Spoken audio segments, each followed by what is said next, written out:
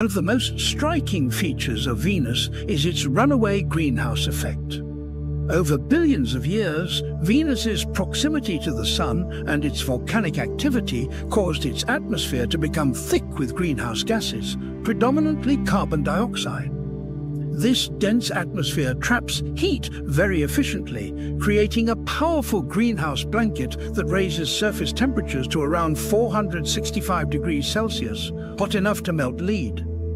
This intense heat is so extreme that it remains constant regardless of the time of day or night, making the planet the hottest in the solar system. This runaway greenhouse effect serves as a stark example of how planetary climates can spiral out of control, transforming a once potentially habitable world into a scorching, uninhabitable inferno. The surface of Venus is a testament to its volcanic past. It is covered with extensive volcanic plains, vast shield volcanoes, and numerous volcanic domes. These volcanic features reveal a history marked by widespread eruptions that have reshaped the planet's landscape repeatedly. Many of the volcanic features are relatively young in geological terms, only a few hundred million years old, indicating that volcanic activity may still be ongoing.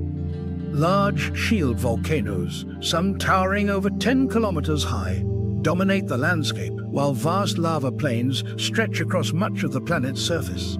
The surface is also riddled with fissures and rift zones, where tectonic forces have fractured the crust and allowed magma to reach the surface through fissures and cracks.